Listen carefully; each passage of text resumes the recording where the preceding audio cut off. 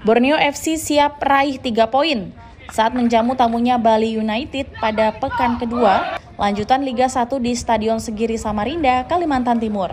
Laga perdana di kandang sangat penting untuk membuat impresi bagi supporter meskipun Bali United tidak banyak pemain yang berubah. Namun Bali United merupakan tim bagus yang telah terkualifikasi ke Champion League. Uh, the first game, so it's important. Uh, make an impression for the fans, make an impression for ourselves, uh, and also make an impression uh, to all the other teams who are watching. So I think we're ready. Everybody fit. So I think uh, that's that's all good.